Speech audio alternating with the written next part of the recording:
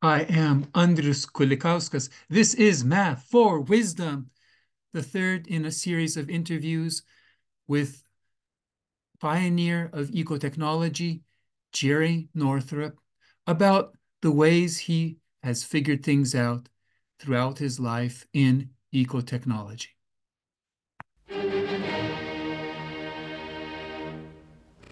The early days when I was working at the Center for Theoretical Biology and developing the microbial tank farm. And the notion was, uh, how do you build a new agricultural system? And then the idea was, let's use resources that currently aren't being used. So the notion was, let's harvest weeds, which are mm -hmm. considered to be a problem. Mm -hmm. People pay money to get rid of weeds and that sort of stuff. And said, let's collect those and use those as the basis of the food source.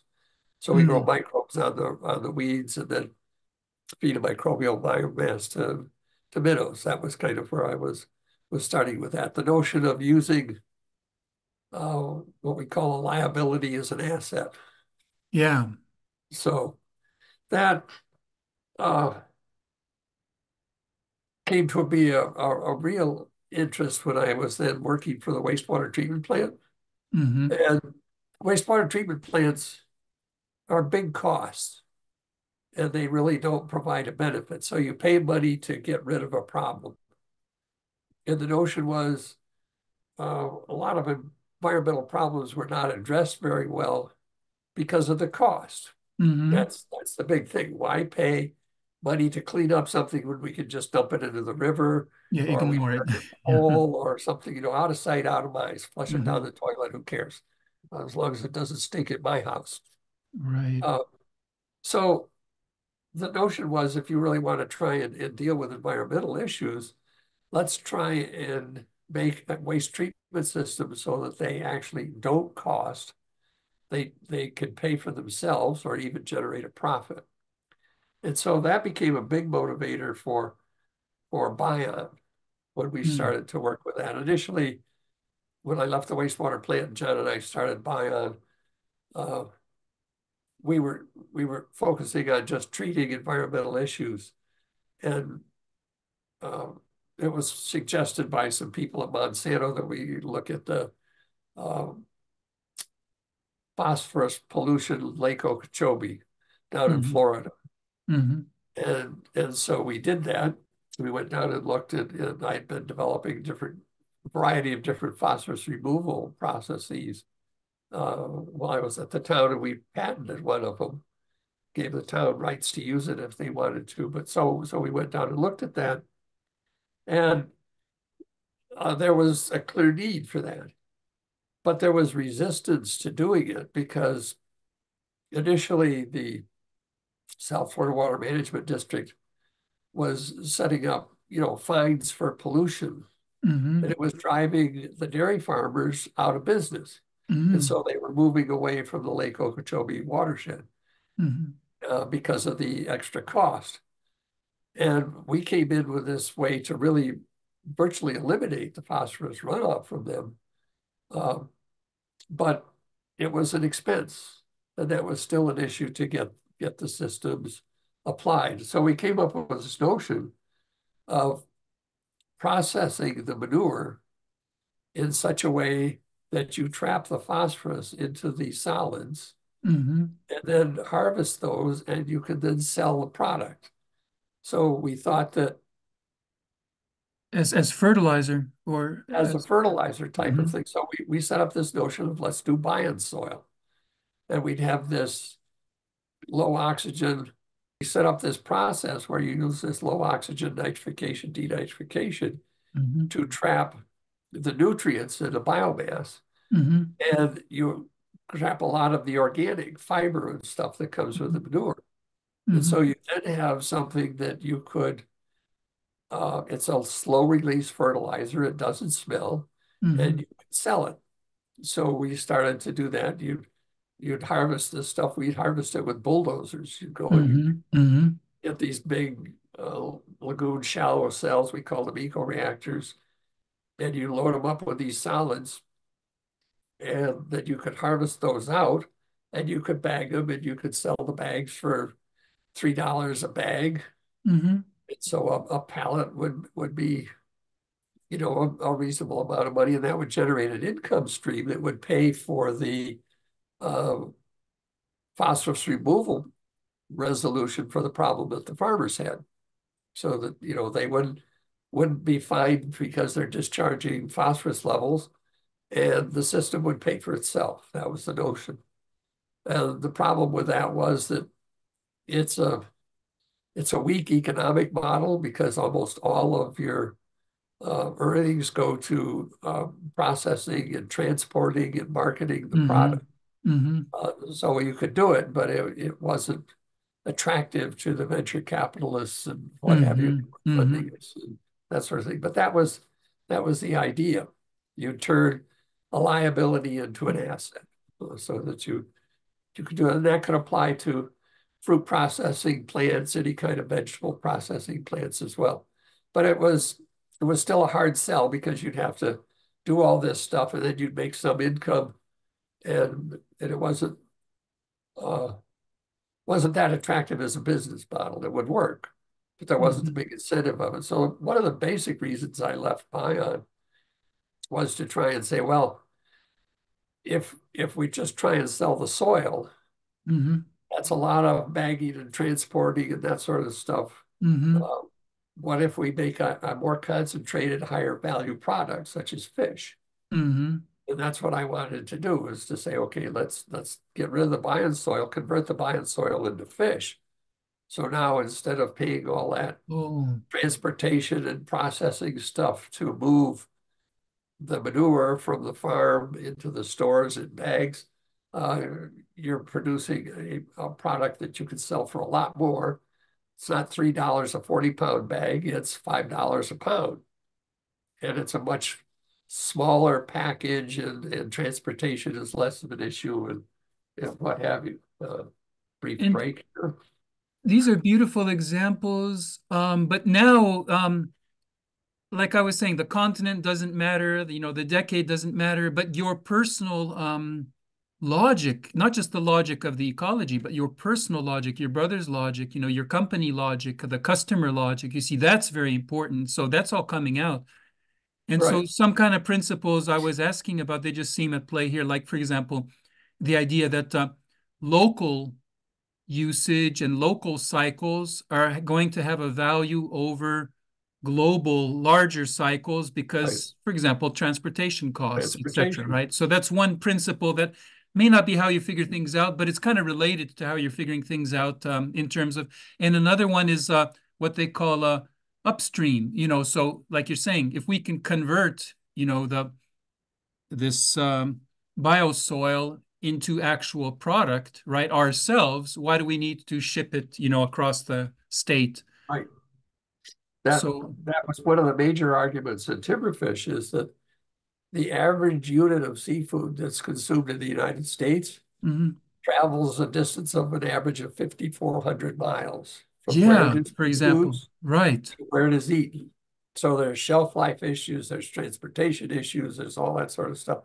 Whereas a local facility that you could produce a million pounds of fish, fish with 60 mm-hmm. square miles of forest so if you've got you've got forests all over the place, so you set these local systems up, all that transportation, shelf life issues tend to disappear. So that's part of that kind of thinking.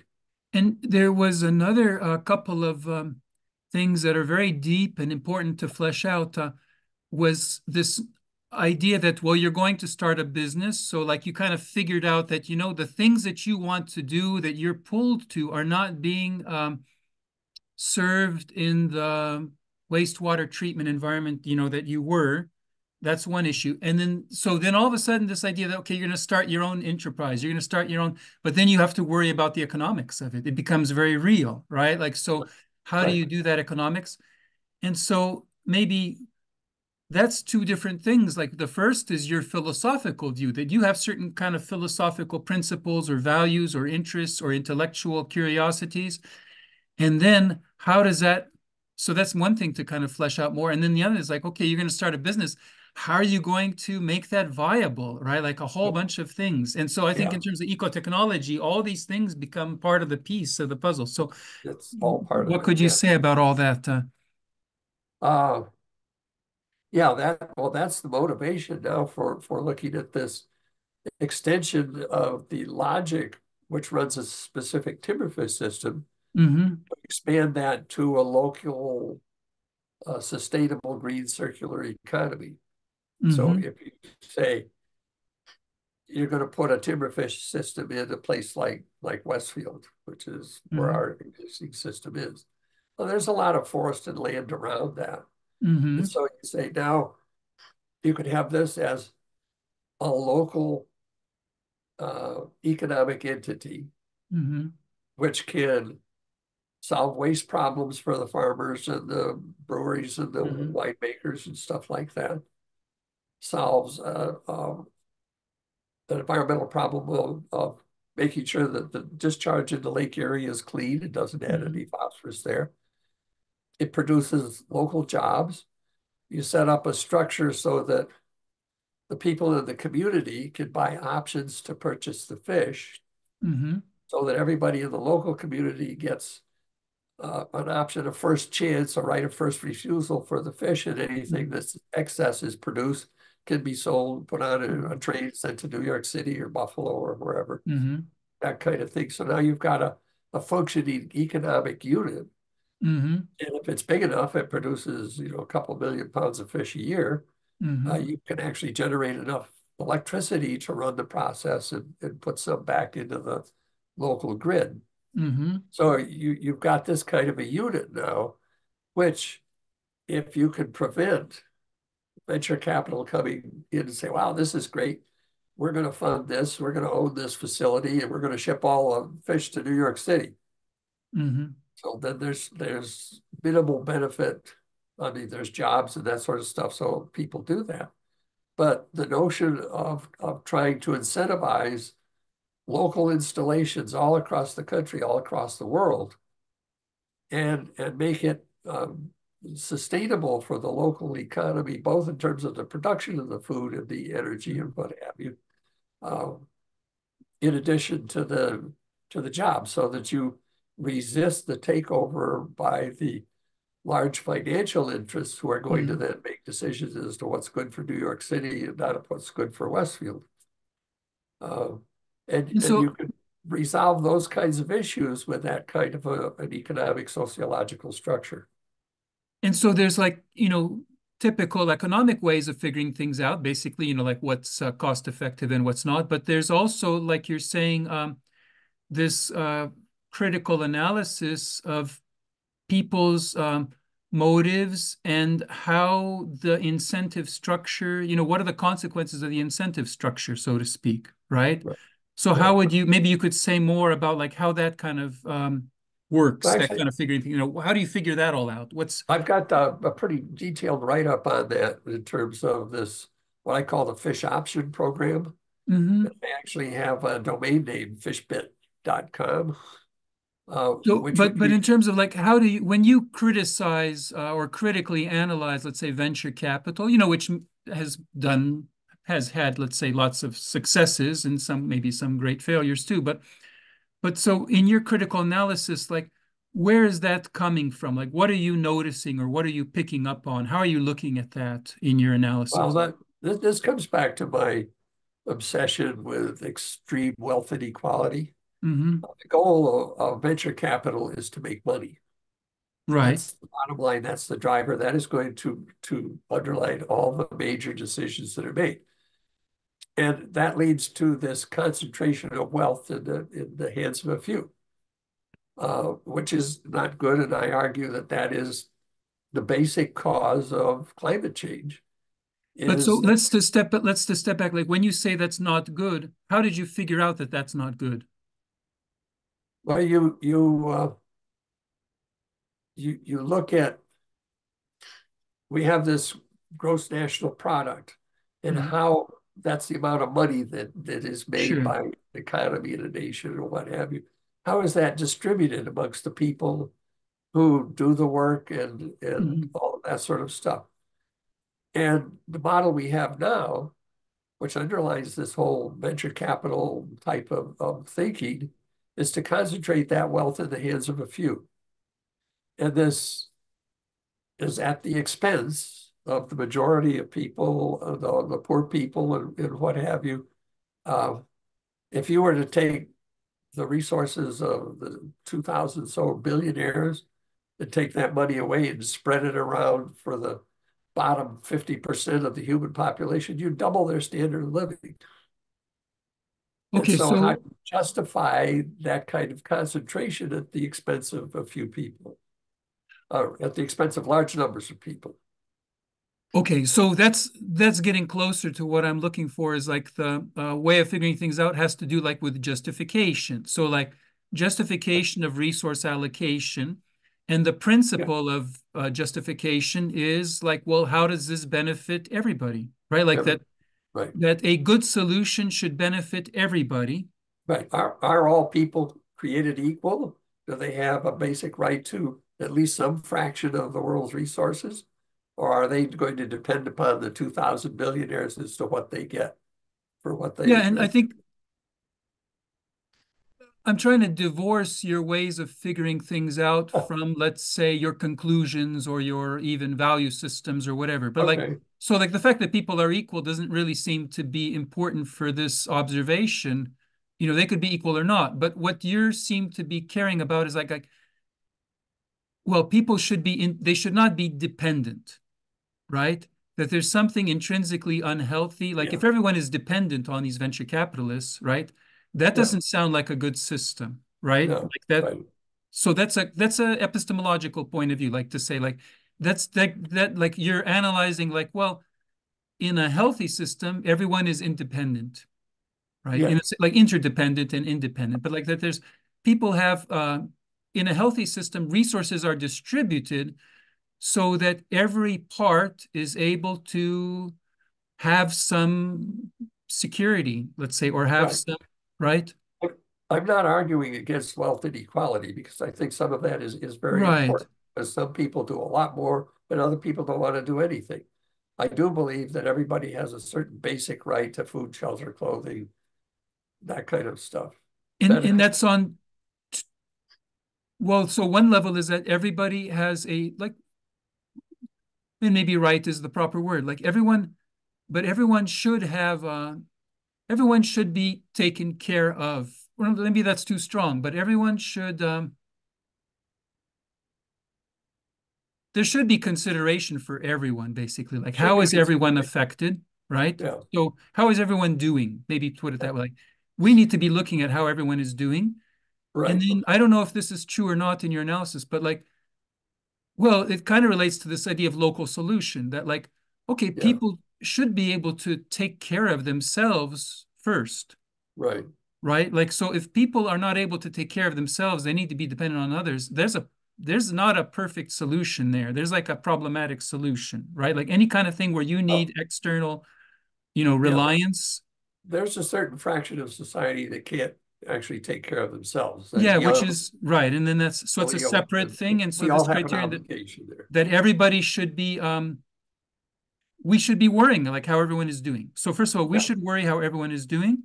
Right. And then uh, in terms of uh, caring for people, the priority is that they should be able to, you know, if they can take care of themselves, that's good.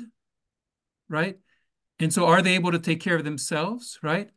And yeah. then this idea of additional resources, you know, which is you have all these resource flows. Like are the resource flows making people more resilient or less resilient? Like this idea of resilience i guess right? Like mm-hmm. resource flows should make people more resilient. Is that yeah. and and no, nature should be more resilient right? Like it should not i don't know if that's well, na- nature is resilient. Well and so with eco-technology you're looking at systems that are kind of like semi-natural right? Like yeah they're probably not going to be as res- they're not as resilient as nature right because they're you know they're made out of concrete or they're made yeah. out you know like they're they're just uh, but um yeah. well but, that, that, that, i think this trade gets into the larger sociological types mm-hmm. of issues um, let's wait on that let me give you some more specifics yeah go ahead how this works on the on the local practical sort of level. Mm -hmm. Mm -hmm. Uh, to go back to, we have a timberfish system. And so we are producing different kinds of organisms in different parts of the system, mm -hmm. different places in the tank or in additional tanks that are going around. So then the notion is, how do you use the abilities of the organisms that are there to maximum advantage? Mm -hmm. So, like one of the examples, and that's a, that's a way of figuring things out. Yeah, go ahead. I'm sorry. Yeah, yeah so use maximum advantage. One of the ways we're going to do that is we'll put a perch biofilter on top of a fish tank. Mm-hmm. So we'll run the, the waste stream from the bottom of the fish tank back up, let it percolate through these wood chips, and then drip back into the tank. And, and that cleans up the water. Mm-hmm. That will trap some of the fish waste and mm-hmm. put it back up to the, the wood chips. And it will take some of the, of the nitrogen and phosphorus that's excreted by the fish solubly and make it available to the microorganisms that are living in the in the wood chip biofilter. Mm-hmm. Now, if you put worms in the biofilter, they will continue to eat the microbes. So the microbes then have a lot of stuff that they will continue to grow and play the space. But then the worms will reach a certain population and they'll start to move and they'll drop into the fish tank. So now we've used the mobility feature of the worms so that we don't have to harvest them Mm. We just set it up that excess worms will drop into the fish tank. Mm. So that's a way of using that kind of capability. Mm-hmm. Uh, another example that's sort of like that is when we did a field trial down at the Freshwater Institute in West Virginia back in 2010, 2011. Uh, and we had, you know, this, this biomass, this big biofilter and what have you. And there were all these microbes growing on it. And so there were a lot of bugs that would come in, mm-hmm. flies land on it and the, lay eggs, and then there'd be flies going around. So the maintenance guys down there didn't like that. So he said, well, let's put a, a bug zapper right over the fish tank.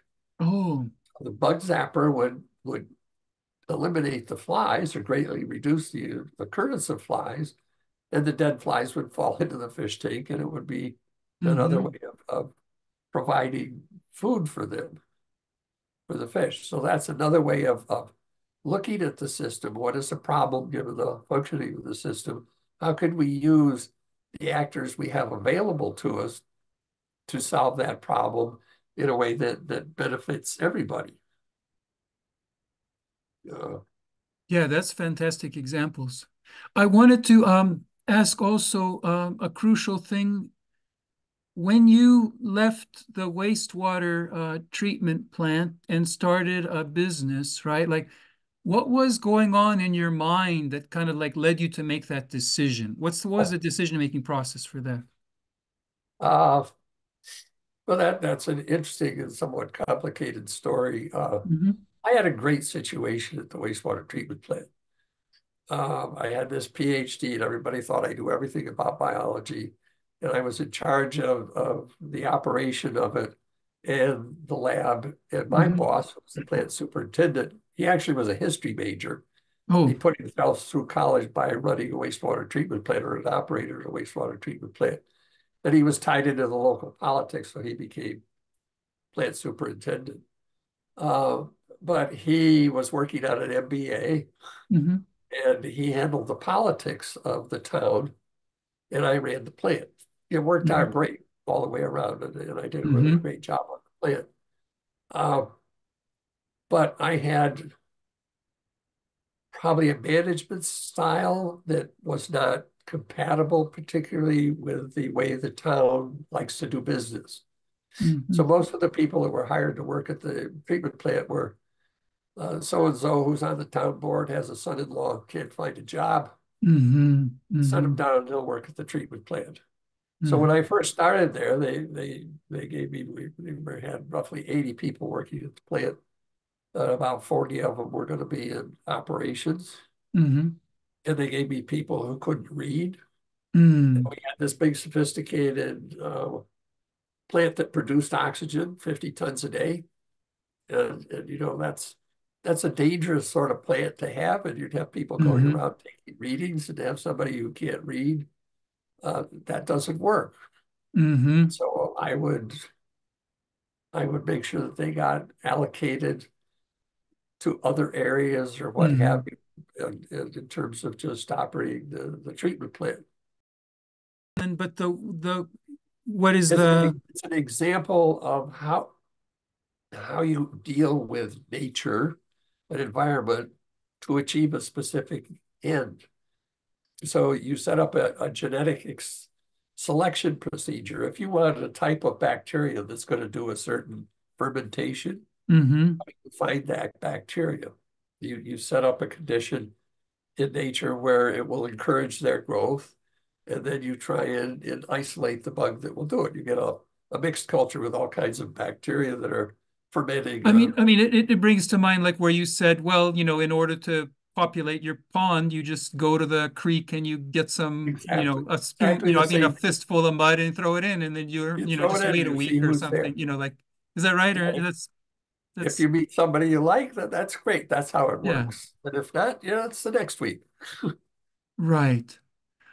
Okay, and so um, there will be a lot, you know, and maybe I'll think about it more. In, but in terms of analyzing, um, especially the previous example, like there's all these, you know, because ecotechnology is a lot about the um, parallelism between ecology, technology, sociology, let's say, and then maybe personal philosophy, like which is very uh, clear in your life, right? So it resonates across. And so here in sociology, you see that, well, there's something to be said about patronage, you know, where people care, like who's going to get a job, you know, and so they there's a network of people like, or I know in my life, um, you know, I my resume is not any good for me to get jobs. You know, I have to get jobs through people I know, right? So this idea yeah. that you know you get jobs through connections, that's an alternate way. That's really quite common. Yeah. Uh, so that's on the one hand that's sensible. On the other hand, you have this conflict, like okay, but but uh, what if you have a demanding environment, you know, or like, or a, a challenge, you know, challenging environment where like in the good sense, like you want a challenging environment, right? Like, right. so that runs across like these organisms that don't want to be, these people who don't want to be challenged, let's say, right? Or who aren't designed to be challenged, right? So how do you, how do you, what do you do then? And, and, um, especially in the case, like in the human case, you're not allowed to say, well, they'll just die off, you know, like you, yeah. you have to, you have to uh, be more kind in that. So, um, so how do you figure things out in that sense? I guess, and that was uh, that was maybe a, I guess maybe one way to look at that is to say, well, you died off in a certain sense, like you know, you you allowed yourself to fail. You yeah. did not adapt to that. You kind of allowed yourself to be filtered out. I think that was that's one process, right? Like to say, you know, you didn't fight that culture. You allowed that culture to kind of like push you out. Right. Well, like, I, I definitely opted out for what I consider to be a better alternative.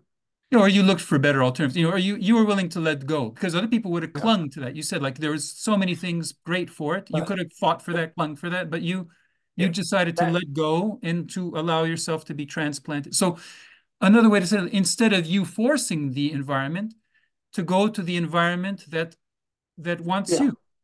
Right. I, I could have stayed because I could have uh, easily acclimated to the politics and, and what have you. And I had a I had a tremendous situation in that I didn't have to spend much time running the plant. I had it lined out so it would do really well. But, but you would but you would be okay, so you could have, but you would have been a slightly different person as a result, I think. Oh yeah, and, I would have had to been more uh, politically not subservient, but compatible with the town. Or sensitive, yeah. Yeah. You'd become very. I wasn't, wasn't interested in doing that. And so some people develop that way, though. They become very suave and, and tactful right. and sensitive, and you know, they they do it that way. You know, they they kind of focused or whatever. They sell uh, out in the way. But one thing that seems to be in, in figuring your life out that uh, you realized, oh, this you looked at your life as kind of like in terms of phases to say, well, I had a good 10 years yeah. And is there more to life than this? So one way to figure it out is like, you know, I think that something like that was a driver in you, like to say, well, I could be doing something new or more or different, or like. I could, So how do, what was that all about? I mean, in what sense were well, you inspired? I, I, tended to go through kind of 10 year cycles. yeah. when I went to college, I loved college and I stayed in college and graduate school and a postdoc for 10 years. Mm-hmm. And then I, I spent almost 10 years on what I called independent research. Mm-hmm. And I didn't didn't have a job. Lynn worked for uh, bulk of that as a toy designer at Fisher Price. Mm-hmm. And then when we decided to have our daughter, that wasn't viable. And so mm-hmm. after she was born, we go back to Fisher Price and I got the job with the town of, of Amherst. Mm-hmm. And I'd been looking around for quite some time trying to sell the technology that was being developed. So then I spent 10 years with the town. So it's 10 years in academia, 10 years as independent study, 10 years with the town, then left to form Bion. Mm-hmm. And the first 10 years with Bion, which John and I were really running it, and, and it was it was going, but it was uh, my brother who was doing the, the business aspect of it ran into some real medical problems. Mm-hmm. And so we brought in some outside management. Mm-hmm. And I stayed on to help with a bit, but I didn't care for the direction of the outside management because, again, the goal suddenly became to make a lot of money and not do. And so we just have a couple minutes, but is there a theme here, like where you pick up a new thing or you like let go of the old thing? Like, how are you it's, figuring that out? To it seems to evolve in roughly ten year Right, but like, what's the driving inside of you? Like, what's the kind of question or uh, or or or or approach that's driving that look at like the look at your life, right? Like, what are you seeing that makes you do I, that? I think that's a, a cyclical approach on understanding the sophistication, so that each of these intervals I learn a certain skill set, a certain environmental stuff, and then it's on to how that okay so you you master a certain you master a certain um, role let's say or a certain yeah. kind of like a and then you become interested in transcending that like in a new way right? Is yeah, that you know, that's a way of figuring way, things out. a lot of way that's that's uh, catalyzed by external forces. For example uh, timberfish uh, which we started in 2008 by 2019 uh, that was really beginning to roll. Then I got really sick with this respiratory type of stuff, which I'd had all my life, but that mm-hmm. became serious. And then, so we kind of mothballed the system for the winter in the fall of 2019. And then COVID hit. And I realized that uh, if I came down with COVID, I was not going to survive mm-hmm. because of the respiratory thing. So I basically stopped any kind of things operating it. And because none of us were getting so, paid, I couldn't really feel right asking anybody else to go work it.